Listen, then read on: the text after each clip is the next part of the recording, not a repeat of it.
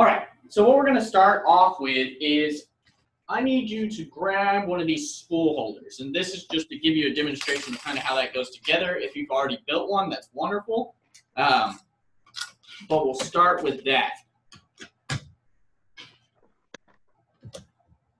And so I'm assuming the computer has the, the ability to install programs and we got that covered and everything? Do what now? You can install programs on that computer, correct? Yes. yes. Awesome, cool. Just double checking. And then, so for these, let me swap cameras real fast so I can demonstrate this real quick. They're pretty easy to go together. It's just a little tedious sometimes to get these tabs in while still getting the net into the same spot. So if we look here, you see how I have that all the way out to the end there? Uh-huh. And then I like to basically hold this to the side and then kind of slide it up into it. And then I'll drop Okay. the screw until the nut falls into place and then I tighten it. Okay. So in order to tighten that, you should have an Allen wrench in your um, little toolkit, and it's going to be the second smallest. So there will be one smaller than this. It's the second smallest Allen wrench. Okay. And then the other side's going to go on the exact same way. Okay.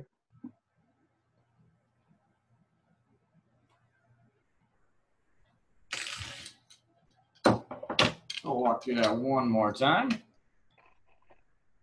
Basically, just slide it up and let it fall into place. These can be a little bit hard for the first ones to kind of put together, and you'll have a couple to be put together, but luckily your students can do the rest of them. Okay. And that's kind of the goal here is to get all your kids printing stuff and working through all, everything and through this whole process that we're kind of going to talk about today. Okay. And then there was also like a little nut and bolt kind of deal, like this, Uh-huh.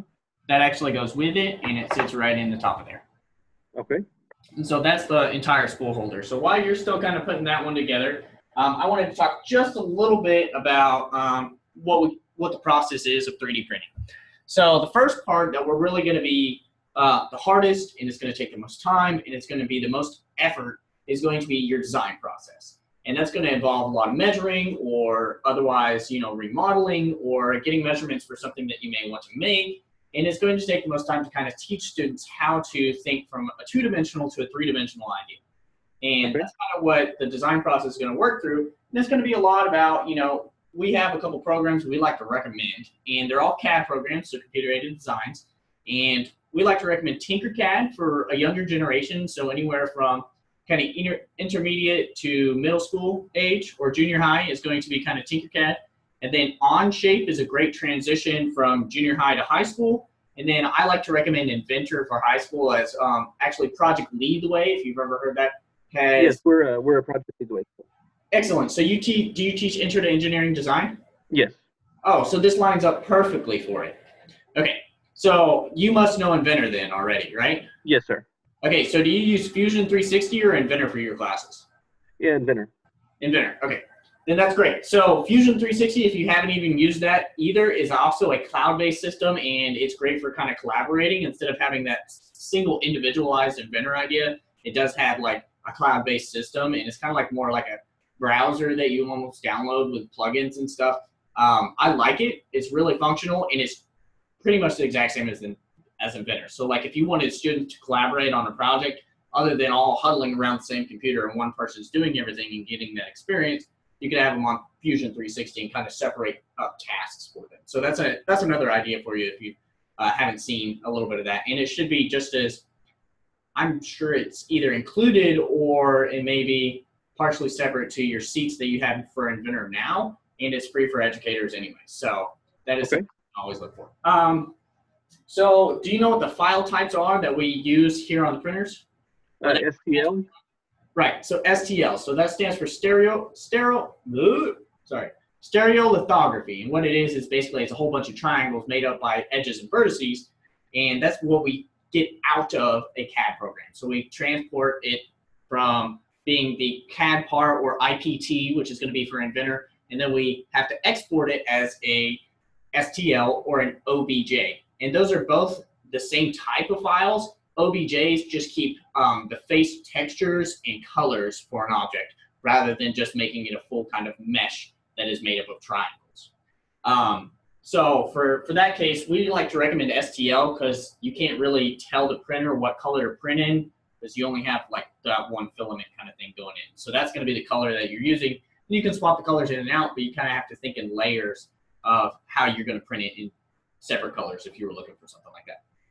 So, um, so we have the product, we design, make it, and then we're going to export it as an STL. Um, what inventor year are you using? Uh, we are on 16, 2015?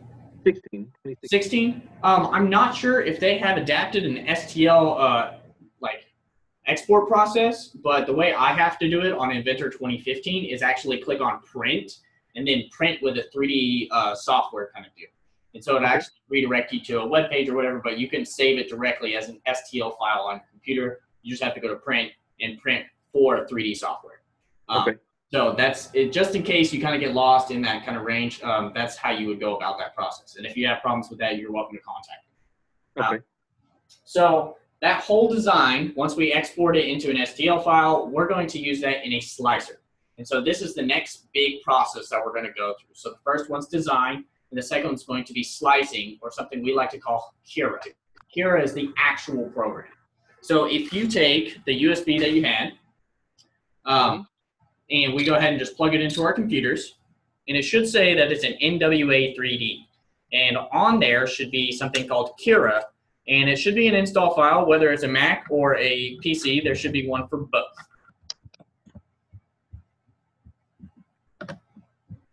And so at this point, I'm going to screen share with you so we can kind of go through the process of setting up our slicer and getting our settings ready for our specific printer.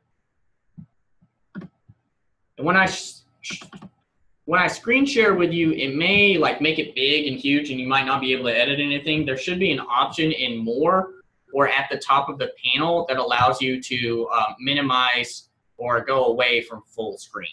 And uh, I recommend doing that so that we can kind of work through it together and we can get everything set up as we want. Okay. So, can you see my screen and everything? Yes. Awesome. Okay, so the first thing we're going to do, we're going to come into the Cura folder, and then we should be able to just run this application file or the exe and double click it and run through the installer until you get to this add new machine wizard. And that's just the process of basically clicking next and agreeing to user license agreements and then um, installing some drivers. And so we'll get to this screen, and that's where I want you to pause and just let me know when you get there. Okay. All right. So what we're going to do here is we're going to go ahead and click next. And then we're going to choose this selection of other.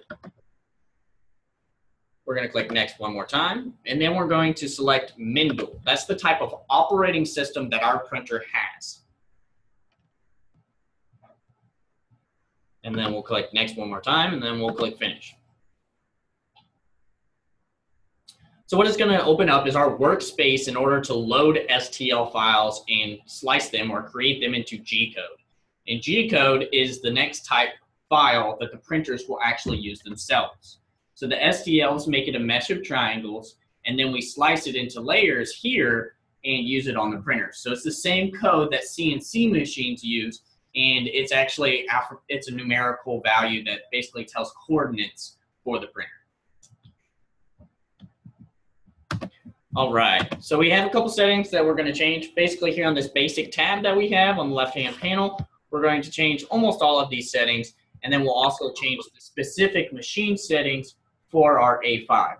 Basically, I mean, Okay, uh, real quick, mine is uh, doing something funky. It never let me uh, get installed, and now the uh, set up new machine thing, I'm not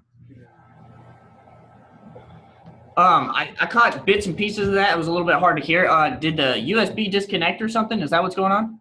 Um, no, it's it installed Cura, but now like where I thought that I was where you were, and uh, it installed, and I've got Cura open, and where uh, the like uh, new machine wizard or whatever. Yeah, yeah. Okay, okay, I see. Um, add new machine. Yeah, I can go back through that if you'd like me to, Will. Okay, so um, I just click other, and Yes. where am I? other, and then we're gonna click on Mendel. So you're looking for that. That's about halfway down. Okay, found it. Uh-huh. And then we'll click next and finish. Okay. All right. Sorry about that. you should be caught up. Oh no, you're good. Okay. Okay, so this screen is our workspace. And so that blue area that kind of has as a box is basically telling us this is our build area or what we can print on. And so this is a bit large for the A5 just because we haven't changed the settings, but we're going to talk about here on the left-hand side panel first. Okay. So here at layer height, and I know there's a lot of information in this section. Um, if you have any questions, any concerns, or anything, please just stop me and hey, just ask me a question. I'd love to answer it for you. Okay. All right, so layer height in millimeters. Notice whenever I hover over these, it kind of gives you a snippet of what it is and um, kind of tells you what's going on with that setting, but I'm going to step through them with you. So layer height, we use anywhere from 0.1 to 0.3 millimeters. And this determines the quality of your print. It's basically telling you how close the layers are together. And so 0.1s are going to be closer, and then 0.2s would be farther apart. And then 0.3 is going to be your lowest quality, but also the fastest print speed. Okay. So we like to use that at 0.2 for this first print because it's kind of in between. It's not bad, but it's not super good. And then we're going to change our shell thickness. So our shell thickness, which is the outside um, area of our object. So our object's going to have an outside perimeter, and that outside perimeter is going to be defined by this shell thickness. So it's at least going to have this much of a shell on that outside perimeter. And we want this value to be 0.8. So it may turn yellow for you. The reason it did that is because it's mad about the nozzle size. So the nozzle size and the shell thickness need to be a multiple of each other. And since the case, the nozzle size here is 0.5, it's throwing us a little error value. So we want to change this to 0.4 as that's the size of our nozzles on our machines. Okay, and then we're going to change the bottom top thickness to the same as the shell thickness so that the area around the object is all the same width. All right, now we have fill density. And depending upon the object, this is kind of its durability factor. So if you have five, it's going to be weaker on the inside. If you have, you know, up to whatever you would like, 100%, which will take a lot of filament, and a lot of time, you can have it. But we like to do anywhere from 5 to 20%, as 20% still provides a very rigid structure. For this demonstration and for the sake of kind of print speed, we're going to change it to 5% in fill. Now, will I set this up each time that I print? I'm sorry, what? Well, uh, each time that I get ready to print, will I need to set this up? You will not. This is Okay. profile specific. So if you do log in as a different account, you will have to set this up again. But if Okay. you your same account on the same computer, it'll still be there. Okay. All right. So here we have print speed, and we like to say 50 millimeters per second is a great speed for our A5 printers. Now they can go all the way up to 60 millimeters per second, but then you're kind of stretching it and it gets to a point that it may be a little bit too quick and it might knock your build or it may reduce the quality that you have. So by decreasing the print speed, you can increase quality and some tolerance. And um, we like to put it at 50 because it's kind of like a good mid range. So if you did want to decrease it, you can decrease it to about 25. It just depends on what you're printing and how intricate it can be. So in this case, we generally print F50. Next, we're going to have our printing temperature, and we use PLA. And so the little box that pops up says PLA is a 210 degrees Celsius usually. But what we're going to do is we're going to change it to 220 degrees.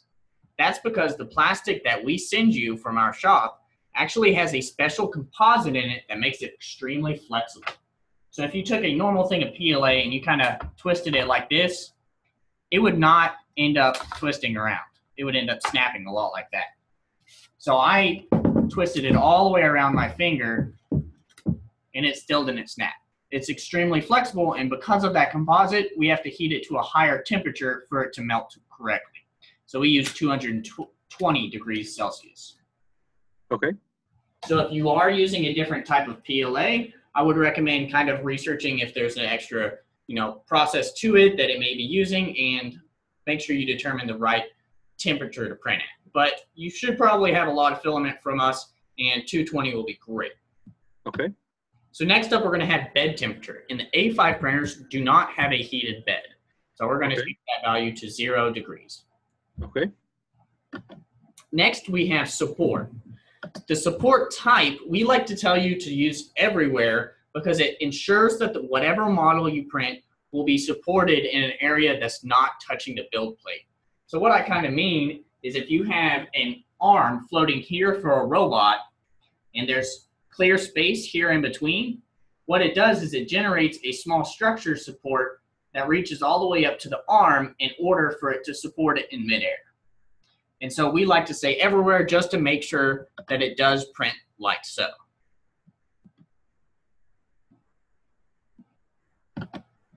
Then we're going to have the platform adhesion type. And this basically will help you to adhere a certain uh, build plate to the, I'm sorry, a certain object to the build plate. And so what I mean by that is you, if you have something that's not, doesn't touch the build plate in very many areas or is like a small surface area of it, you may want to use brim in order to adhere it a little bit better. Also, if you're having issues with an object warping up from the build plate, you can use a brim in that case also. Um, for the case of this, we're just going to leave none because the object that we print next will not need a platform adhesion type. It should work well. All right, so filament. We're going to change the size of the diameter for the filament to 1.75 millimeters. And that is also on the side of your plastic right here. Okay. Okay. It also tells you the type of plastic and size, and then of course the color that you got it in. Then we're going to have flow percentage, and we're going to leave the flow percentage at 100%. That's basically going to either over extrude or under extrude how much plastic you're using. On general, in general, we want it to be at 100% flow because, of course, it should work correctly at 100%. If you feel like a certain area needs more or less plastic, you can adjust that setting as you see fit. Usually anywhere from like a little bit 5% up or down isn't that much of a big value change, and it might be something you could use to see if there's a change to your prints. And then finally, we have the nozzle size, and we've already changed that, and that's a multiple of our shell thickness. All right, so now come up to the top bar here, toolbar, and click on Machine, and then we're going to go down to Machine Settings. And this is basically where we're going to tell the computer this is the build plate size we have and what we can print at. So we're going to change X, Y, and Z.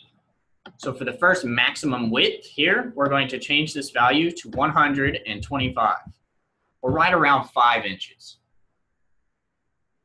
We're going to do the same thing for the Y here, and that's going to be 150, or about 6 inches. And then finally, we're going to use 100 here, or right at about 4 inches. And so again, we don't have a heated bed, so let's uncheck this box. And now the only thing left to do is name the printer. So I'm gonna click right here and click change machine name. If you don't see the box pop up, it may have popped up behind Cura. And then I'm just gonna change it to NWA 3D A5 and hit okay. And so when you hit OK, you should see the blue box behind it kind of change in size as it adjusts. And we're going to click OK one more time on that machine setting. And now all of those values are saved, and we should be good to go for our A5 printers. Cool, you feel comfortable with those that we went over? Yes. All right, sounds good. Okay, so now the next process that we're going to use, since we kind of have everything set up and we know it's good, is to load in our model. And so let's go ahead and click here in the top left-hand corner. It says load. You can also do a file load, just like any other um, program that we're using to load objects. And if you navigate to NWA 3D, the SD card, and double-click on the STL files, you should see the keychain or the six-sided dies. Which one would you like to print today? Uh, we can do The keychain? Yes. Okay, double click on the keychain and we should see it pop up inside of our box. And so being familiar with Inventor and the like, you can probably, the uh, movement controls are gonna be very similar. You're gonna be able to zoom in and out. And then we're also gonna have some extra functions here. We're gonna be able to rotate the object. We're going to be able to scale the object, and then we can also mirror the object as necessary. Okay. In order to move it, you just click on the object and drag. And then to rotate it, you're going to click on the object, and then these three boxes down here in the bottom left will pop up, and we'll be able to rotate or lay flat through these axes.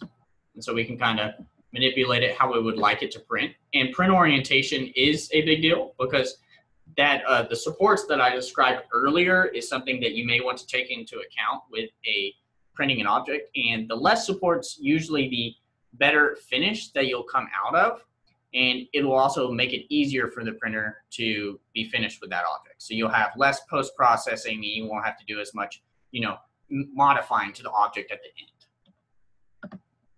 And then we also have scaling, which you can either grab the boxes on the screen and move it, or we can also change the values here. This is going to be basically a percentage value, so this is 100% is the idea. You can use uniform or non-uniform scaling. It is completely up to you. And then there's also a function to max size for the build plate.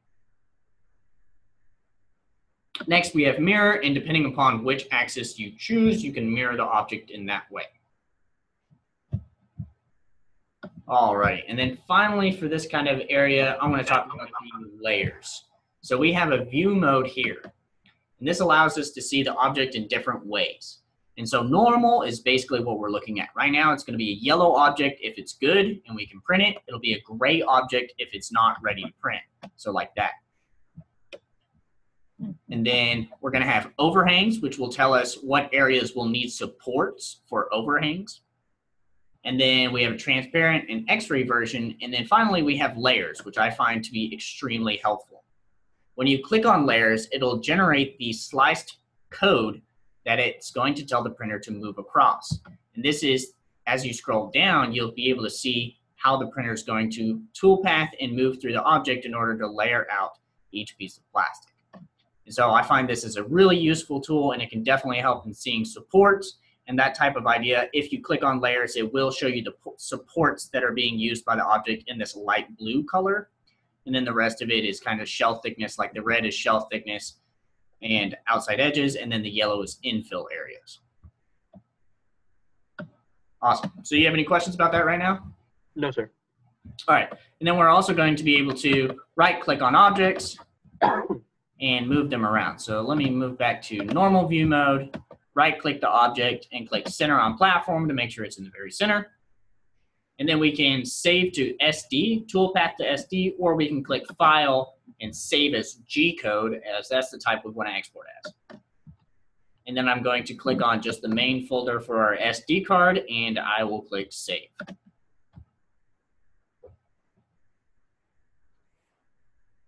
So we pulled in the STL file, we sliced it and edited it into G code, and now we're going to transfer it from the printer, which is a third step, and then the fourth step would finally be to print. So once we have it loaded to SD card, did you get it saved as well? Yes. Okay, then we can go ahead and eject our SD card so we can close Cura. Go ahead and I'm just gonna right click on this guy and click eject. Alrighty.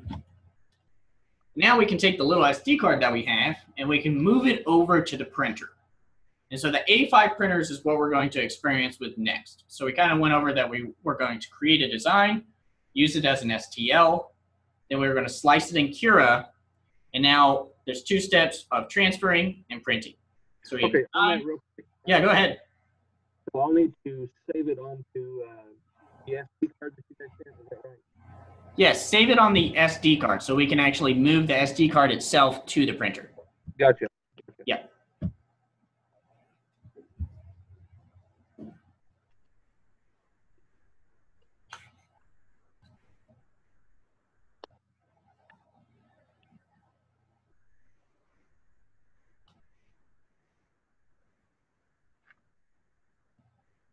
All right, so the only steps that we have left to print from what we've done so far is to transfer it or move it into the printer and then click print. But since we kind of, you know, moved it through shipping and it went through all this different processes, what we need to do next is going to be troubleshooting our printer and making sure it's actually ready to print before we kind of just make it do its thing. So we've already gone over the process, which is design, slice, transfer, and print.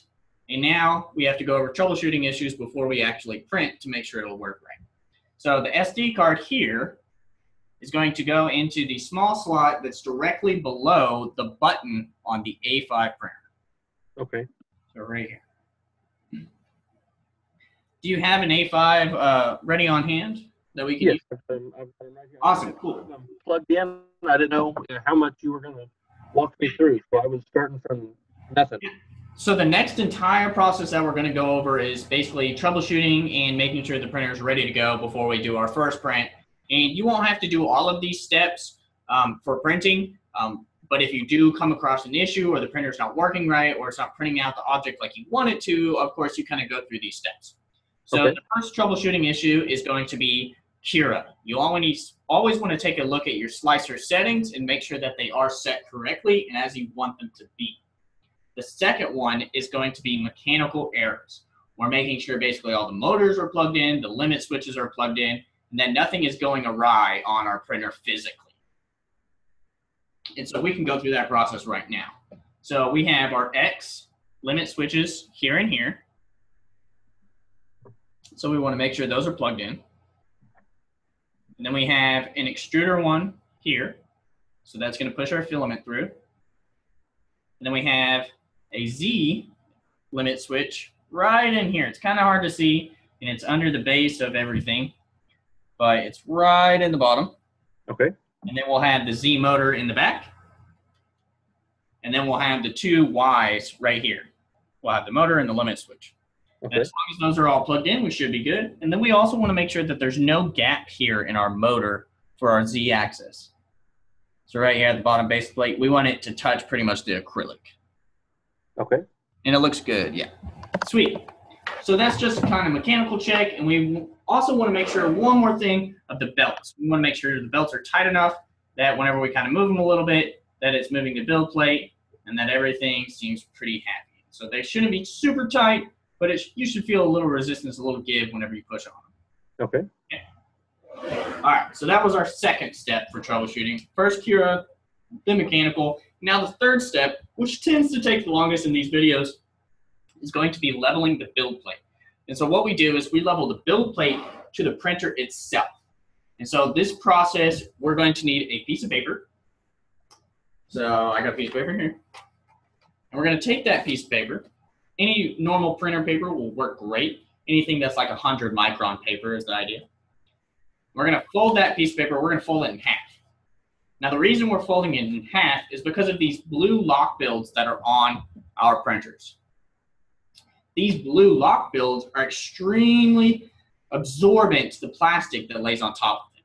So it has a microscopic property that the plastic lays into it easier and it adheres better. So we have to use an extra 100 micron layer in order to make sure that it's not too close and it doesn't get way too stuck to the object or to the build plate. So I'm going to take the piece of paper and I'm actually going to move it under the extruder. And so I want it right under the nozzle. And so, And should I should I be following along doing this as well? yes, yes, yes, this is Okay. the hands-on portion. So you are more than welcome to follow Okay. along. And I very much like that.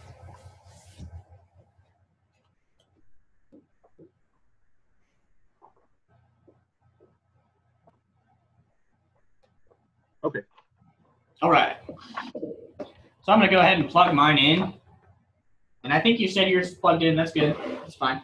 So what we're going to do now is we're going to plug it in. And then I want you to hit the button once. And it should come up to a screen with multiple options. I want you to scroll to Setup just by twisting the knob.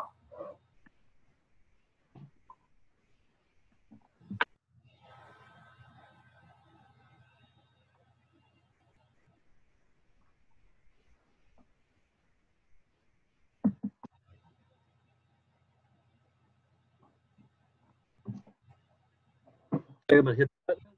Yeah, you're good. Okay. All right. We're gonna. So we're to click it once and we'll see options. And then we want to go to Setup, right? And click it again. And then we want to go to Auto Home. Okay. That's going to take us to the origin point for our printer.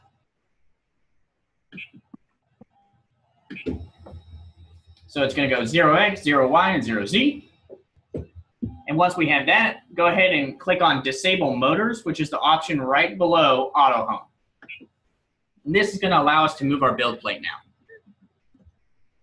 So the real thing we wanted to do was make sure Z is at zero and make sure that we're leveling the nozzle to the build plate. Okay, on mine, whenever I hit disable motors, it's not letting me move the build plate. I'm sorry, could you repeat that for me? Yeah, I hit the uh, disable motors, and it's not letting me move the build plate. It feels pretty snug. Okay, if it still feels really tight and it won't move, like I, I can kind of move it with one finger. It's a little bit tight, but not bad. If you still feel like it's really uh, trying to resist you, then click on it again and go back to disable motors and click. Okay, it's it's going now. I think that it, it was uh, not quite the uh, the arm wasn't all the way down, but Oh, now yeah. it's it's all there. If it's still moving through the process of auto home, it won't let you do anything else. Okay, okay, it's it's done that, and now I can move it. Okay, cool. So what we're going to do is we auto homed it, so Z is at zero, and now we want to take our piece of paper and we want to slide it under our nozzle here. And so our nozzle is the tiny little piece that's almost touching the build plate. So I can show you that here. And that's just that, you can see in there, that little piece that's sticking out, touching the build plate. Oh. And so that's the piece that we're trying to level to the build plate. And that's where we're where we want it to be a really close tolerance of 200 microns so it layers onto it well. Okay, And so through this process, you may see me pick up my 3D printer and kind of move it around and stuff. And um, for the sake of leveling, you shouldn't do that because you want it on a level surface. Um, this is for demonstration so that you can kind of see what's going on. We can kind of walk through this together. okay, So on this next part, we're going to look at the knobs or the leveling knobs that we have. So there should be one directly inside here. Okay. And then there's two on the outside. So they're the things that have springs on them. okay, And this is going to be the process of making a triangle level in order to make the build plate surface completely flat. okay, okay. And so what we're going to do is we have that piece of paper underneath our nozzles. And so we should be able to see, feel a certain amount of resistance when we move this piece of paper across the nozzle. And so I don't feel any resistance at all. okay, So that's a problem. So that means my build plate is too low for my nozzle to uh, print out the plastic on it. So if that's the case, then what I need to do is I need to move it up. So what I like to say is clock up and count down. That's how we're going to turn the screws in order to make it move. So clock up and count down. So if I go clockwise, it's going to go up. If I go counterclockwise, it's going to move it down. Okay. So if I want to move it back up because it feels too loose, then I'm going counterclockwise. That's not going to work that way.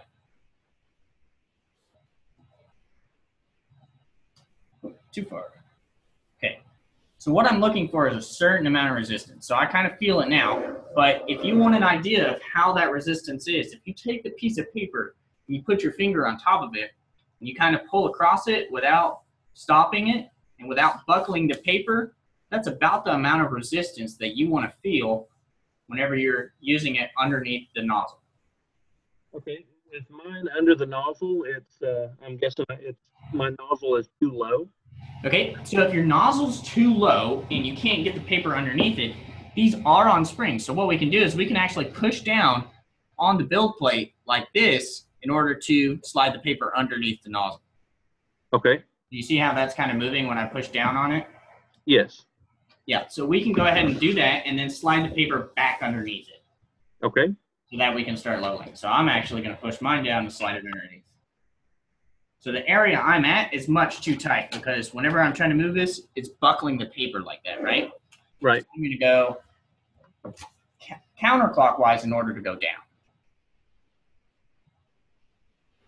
And then I have a much better resistance or feeling that the nozzle is just kind of dragging across the paper but not stopping it in any way. And this is definitely something to get used to, and it takes a while for you know yourself and the kids to become comfortable with leveling it. It's just kind of like a work through process. So once you Okay. have this inside nut, so what we want to do is have the nozzle directly above that inside nut, and then we want to feel the resistance. So once you feel like you're comfortable with that one, we can move to the outside. nut. Okay. So did you get that one a little bit level? Uh, I think so. So when you're saying the uh, the nozzle above the nut, Yep. What so do you- what do you- nozzle above the nut, right? yeah, what do you mean by that? So let me show you. So if you look here, we have the small little nut here, right? Uh huh. And that's the one that I'm adjusting with the spring. Right. And then we want the nozzle to be above that nut in order to get a good leveling for it. So the Okay. nozzle is directly inside here or right under the fan. And then we want that on top of the knob that we're twisting so that we make sure we get the right distance for it. Okay, I got it. Mm-hmm. Okay, so you feel good with the resistance there? Yes. Okay, and then we're going to move to the outside one. So this one's a little easier to demonstrate that on. So if I move it over and I put the nozzle above it like that, Okay. does that help you a little bit more on that on Yeah. that side? Yeah. All right. And then we're going to do the exact same thing that we did with that inside knob. And so mine's way too far away, so I'm going to go clockwise to go up.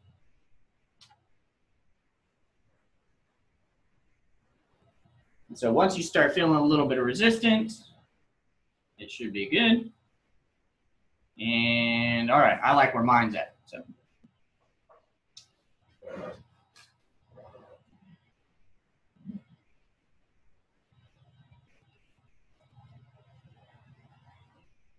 And then we have just one more to do after that, and that's going to be right behind that one that we just adjusted.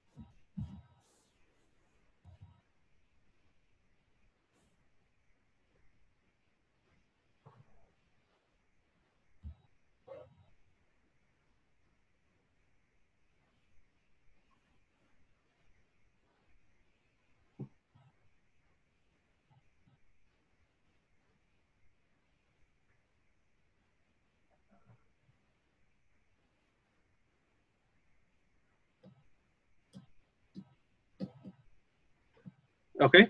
Okay, and then just the back one. If you've already gotten that one, that's awesome too. Is that the one we started with first? So the third one is going to be right behind the one we kind of just adjusted. So if you look here, we're going to have two on the outside, and then we have one on the inside. Okay. So we're actually adjusting a triangle, and we have to kind of make it level all around. Okay. So I did that one that's in the back first. Do I need to go back to it after I do those outside two? You mean the one that's on the inside? Yes. So the, the one on the inside, we have one here, right? I'll kind Uh-huh. of point at them through the, throughout the build plate. We're going to have one right about here, Yes. and then we're going to have one here. Uh huh. I have another one right back here. Oh, okay. Yeah. So I'm gonna find that one. So one inside and two on the outside. Okay. Yeah, I got that. Awesome. And so that's kind of how we go through the leveling process. And so I still need to adjust mine. I swear someone comes in here and messes with it every time.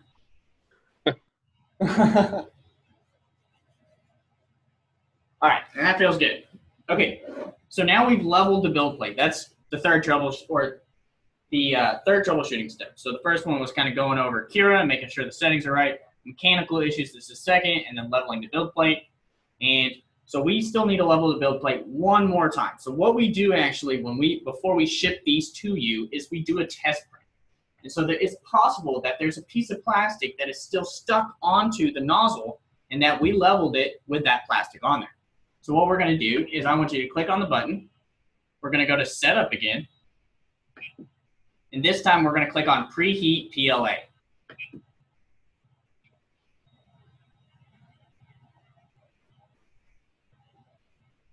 And then we're going to go ahead and what after we hit preheat, go ahead and click on setup. And in this menu, notice the thing directly below preheat PLA is a preheat soft pull. And preheat soft pull is actually the area where if you have extruder problems or you have filament issues and it seems stuck and nothing's coming out of the nozzle, that's something you can use in order to help pull out the plastic. So what Okay. preheat soft pull does is notice that for the PLA we're heating to 220 like we had set it, and for PL for the soft pull it heats it to 100 degrees Celsius instead of 220. And that's going from a cool state to 100 degrees because then it gets to a transition phase that it helps to coalesce everything within the nozzle and then it can pu- be pulled out. And so that's So do I need to, do I need to uh, select the preheat soft pull as well? No, you do not. No, I'm just kind of talking about that option so you have an extra tool in your kit. Okay. Gotcha. And so that's a good way to remove nozzle clogs or filament issues. The other one is to push more filament through this tube to try and push out the clog. And so that's another possibility. Okay. Finally, you can kind of use preheat PLA to push through and pull back out plastic to see if you can remove the filament in that way. And then there's an, one other thing that we actually provide you with, and it's a very tiny kind of needle for these 0.4 millimeter nozzles, and that's going to be the nozzle unclogger, and it's shaped like this, and you're going to use tweezers with that in order to floss it after it's been heated. Okay. Heat to 220, and then you would floss it if you feel like the clog is really bad. and You can't get it out any other way. Okay. Okay. All right, so let's auto home one more time. Set up auto home. And that's going to pull us to zero, zero, zero. And then we're going to go through the level process one more time. And then we're going to feed the filament in, and then we'll start our print. Okay? Okay. So let's make sure that nothing was caught in between the nozzle and the build plate by leveling one more time. Oh, I forgot a step. I needed to disable motors. So that is definitely an easy step to forget. Paper is worn out. I'm doing this. All right.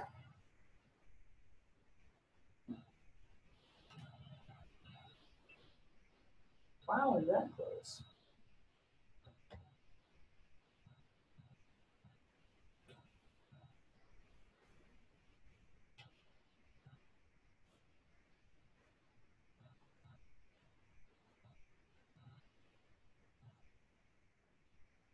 close? Once you feel comfortable with it being level, then we are good to go and load the filament. Okay.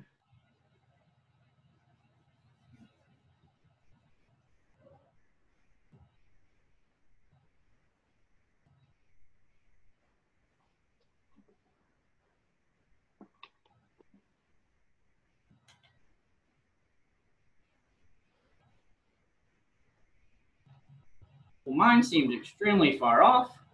It was way too close in every area.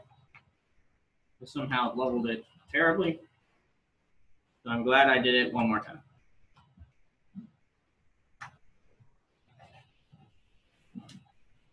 All right. I'm happy with mine, and you can just let me know when you are done with yours. And then we will go through the matrix. Okay. Okay, so what we're gonna do is now we wanna move the Z-axis up because this guy's hot and we're gonna thread some filament through. And we wanna make sure that it's coming out of the nozzle. So if you click once on the button, and this time we're gonna go to controls. Do I need to take it back to uh, zero again? Uh, no, it's okay. Okay. Yeah, we, we're just gonna move it up and push filament through. So before it prints, it will always go back to zero, zero, zero. Okay. All right, so go ahead and go to controls. Okay. And then we're gonna go to move axis, which is down towards the bottom of that next screen. Okay. And then we're gonna click move one millimeter. And then move Z. And then we're gonna move that up to about 20, 25, anywhere in there is a good, good setting. And so this is just to move the extruder up off of the build plate. And that way we can kind of see the plastic squeezing through, okay? Okay. And so this is a very, this is a mechanical way or basically from the print screen of the computer to move our Z axis up and down. Okay. All right, so now that it's heated and we need the filament holder. Okay. So we're gonna take the filament holder and we're gonna take our filament that we had. And so I had it strung through there to make sure it didn't unravel on me, which is always nice. And I'm gonna take our little piece here and I'm gonna put it through the side. Okay. And then I'm gonna set that inside of our filament holder. So it just kind of makes it to where it can rotate on it. Like so. And I like to have the plastic wrapping over the top so it feeds easier into the printer. Okay.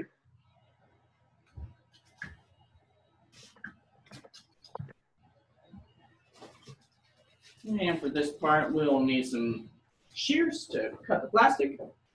So they should be in your little toolkit, some shears. Okay.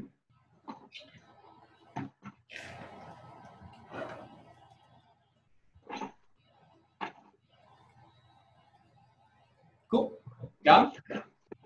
Um, I may have moved them. Yep, I found them. Awesome.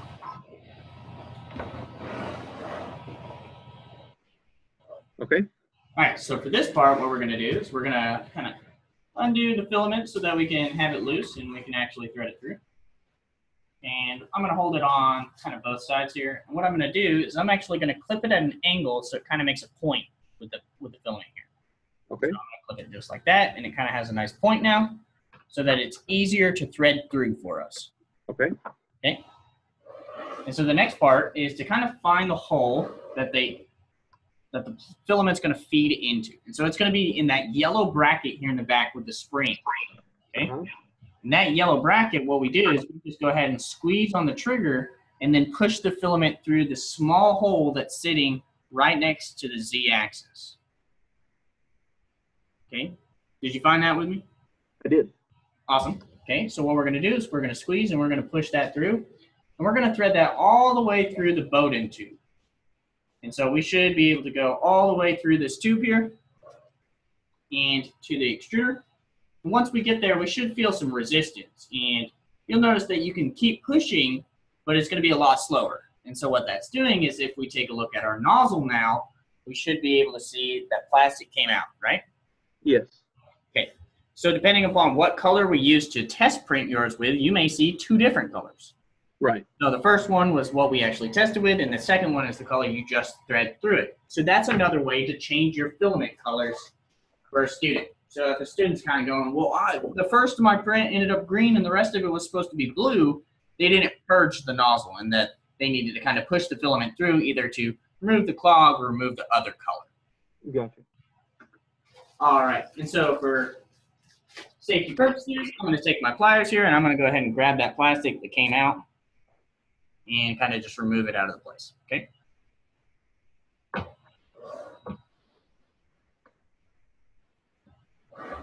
And so now that our filament's threaded, then we, all we really need to do now is print.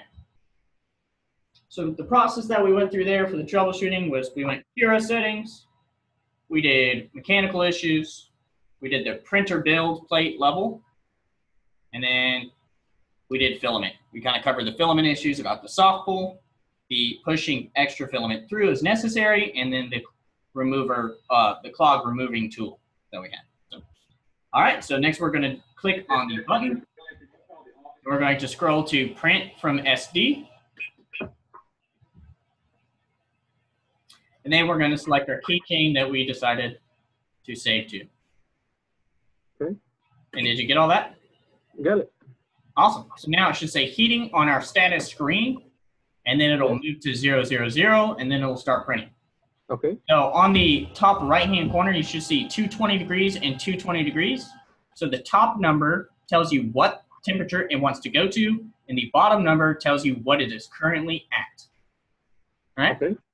And so that's how you kind of see the status screen. And then you can see the X, Y, and Z depending upon how the motor moves. And that's telling you where it's going to next.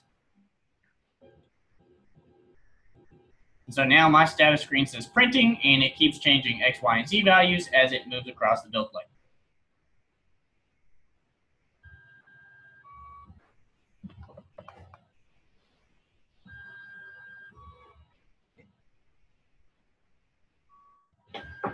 All right, so did yours start printing?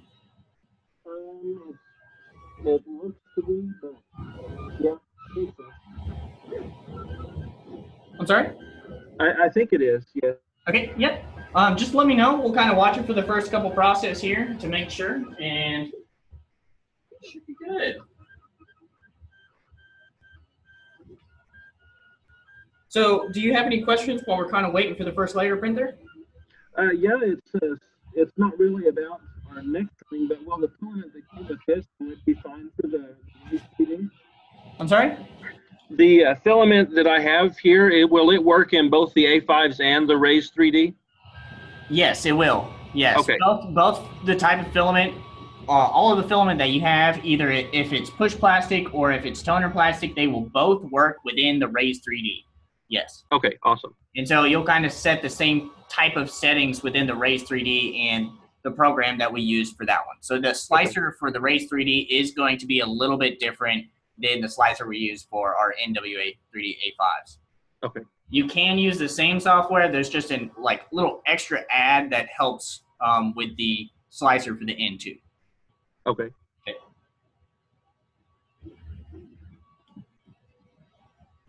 Now, uh, so